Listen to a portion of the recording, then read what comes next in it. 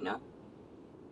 But then there are these mofos who stay, like they follow you, but they stay on your page. They're like the first ones to comment, the first ones to share your shit in their messages with their friends and talk shit about you and they don't even know you.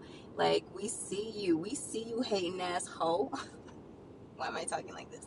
Anyway, what I'm getting at is I get it. I'm beautiful, you know?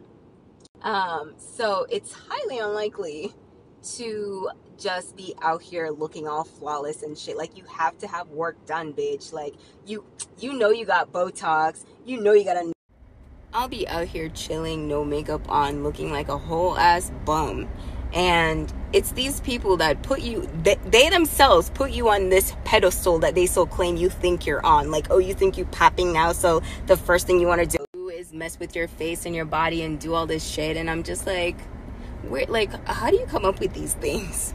We get it, we get it. You're sad and you live like the, like, most, has to be the, the lamest life. Like, all I'm saying is, if somebody wanted to shove 49 needles up their a hole, what's it to you? I don't give a, I don't give a shit.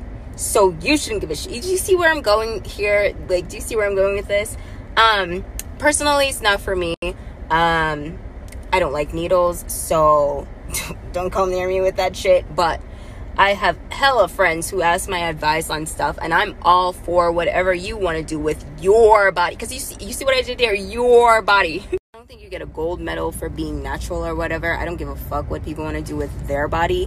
And I think that this is the energy that majority of us need to keep up because, again, we are all different and whatever choices and the next person makes should never affect your life and i don't know why it does for some people like it, it really really bothers them like and i see these comments and i get it.